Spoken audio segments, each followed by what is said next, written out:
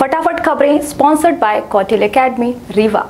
नमस्कार, आप देख रहे हैं विराट 24 न्यूज़ पर पूजा। एक नज़र डालते हैं ज़िले भर की तमाम बड़ी खबरों पर। ऑनलाइन प्रवेश के पहले दिन सर्वर की समस्या से जूझे छात्र। ऑनलाइन प्रवेश के साथ ही तीन चरणों में होना है सीएलसी राउंड एक जुलाई से कक्षाएँ प्रारंभ करने का शासन का निर्देश। ज़िले में बत्तीस आंगनबाड़ी भवन बनाने की स्वीकृति मिली। मनरेगा अभिसरण के सहयोग से होगा निर्माण। ज़िले के सभी तीन आंगनबाड़ी केंद्रों को अलग अलग लोगों एवं संस्थाओं ने लिया है कोर्ट शर्तों के अनुसार काम नहीं करने वाले ठेकेदार को किया गया ब्लैक लिस्टेड नगर निगम के द्वारा पूर्व में दिए गए नोटिस का जवाब नहीं आने पर की गई कार्रवाई। मुख्तार, कॉन्ट्रैक्टर एंड सप्लायर्स करैया दुआरी के खिलाफ हुई कार्यवाही संविलियन की मांग को लेकर अध्यापकों का आमरण अनशन जारी आज़ाद अध्यापक शिक्षक संघ अपनी मांग पर अड़ा नहीं मिलने पहुँचे अधिकारी। मुख्यमंत्री शिवराज सिंह चौहान आज पहुँचेंगे रीवा मैदान में कार्यक्रम। मुख्यमंत्री कई कार्यों का करेंगे भूमि पूजन और लोकार्पण।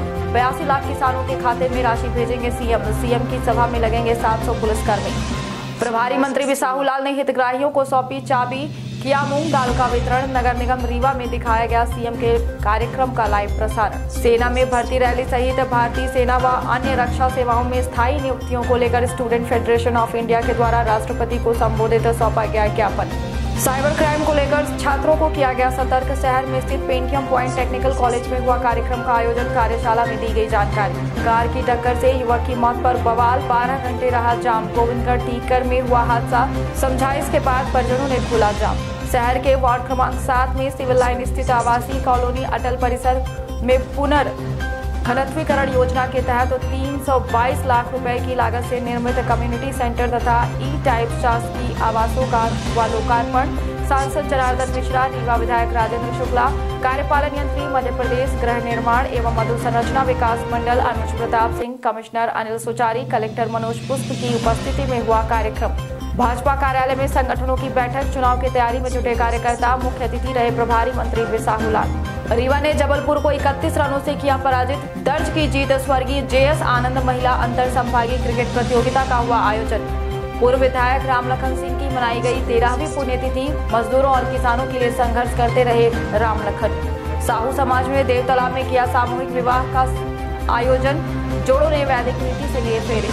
पूर्व विधायक रामलखन सिंह की तेरहवीं पुण्यतिथि के अवसर पर ऋतुराज पार्क में हुआ आयोजन। समाजवादी नेताओं ने अर्पित की श्रद्धांजलि। खेत में लगी आग की चपेट में आई, आहरी अंदर सो रही वृद्धा ज़िंदा जली।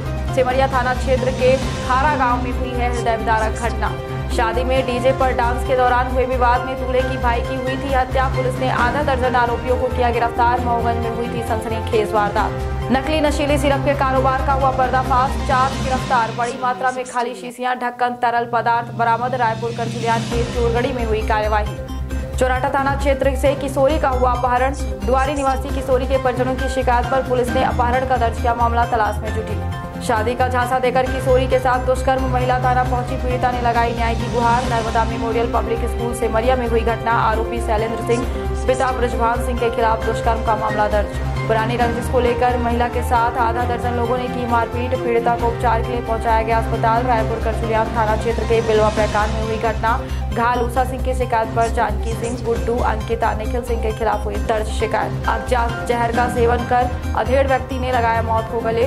सिरमौर थाना क्षेत्र के निवासी कामता साहू, निवासी दुल्हारा की हुई मौत पुलिस जाँच में जुटी। शराब पीने के लिए पैसा न देने पर युवकों ने की गाली गलौज। विरोध पर मारपीट करते हुए दी जान से मारने की धमकी। मऊगंज थाना क्षेत्र के मुदरिया चौहना में हुई घटना।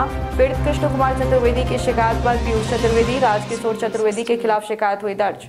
घर की छत काटकर घुसे बदमाशों ने सोने चांदी और नकदी चुराया। सुहागी थाना क्षेत्र के त्योथर में हुई घटना। पीड़ित नरेंद्र सिंह भदौरिया के घर में घुसे बदमाशों ने सोने चांदी के जेवर सहित दस हज़ार रूपयों के नकदी के साथ ही सामान किया पार चोर की तलाश में जुटी पुलिस। शराब दुकान में घुसे बदमाशों ने की तोड़फोड़। सेल्समैन के साथ की मारपीट। जने थाना क्षेत्र के गढ़ी में हुई घटना। अशोक शुक्ला की शिकायत पर बाबा यादव और उसके पाँच अन्य साथियों के खिलाफ मामला दर्ज। किसी बड़ी वारदात को अंजाम देने की फिराक में असलाह लेकर घूम रहे दो युवकों को विश्वविद्यालय पुलिस ने किया गिरफ़्तार। पकड़े गए आरोपियों में सत्यम तिवारी, रोशन गुप्ता शामिल। आरोपियों से देसी कट्टा पिस्टल हुई बरामद। पुरानी रंजिश को लेकर आधा दर्जन लोगों ने की मारपीट। घायल को उपचार के लिए पहुँचाया गया अस्पताल। हलमना थाना क्षेत्र के ग्राम पाती महात्मान में हुई घटना, अंजनी प्रसाद पटेल के साथ अनिश पटेल, पार्वती पटेल, रमा देवी पटेल, मुन्नीलाल रजनीश पटेल और वेंकटराज पटेल ने की मारपीट। ज़िले भर की तमाम बड़ी खबरों के लिए देखते रहिए विराट फोर न्यूज़। नमस्कार।